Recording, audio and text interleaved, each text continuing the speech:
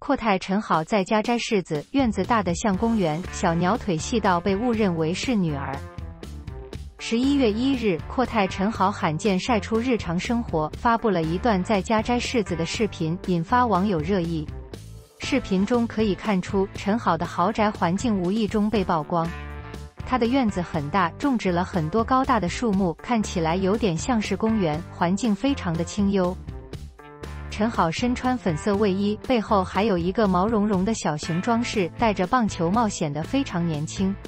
他的身材十分纤瘦，黑色紧身裤勾勒出修长美腿，小鸟腿尤为纤细，上下几乎一样粗。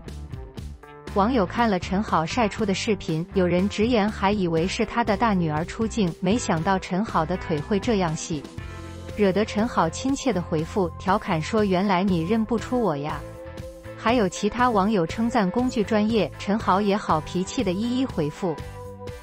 近年来，陈好很少出来拍戏，他回到自己的母校中央戏剧学院攻读了研究生学位，随后又留校当起了老师。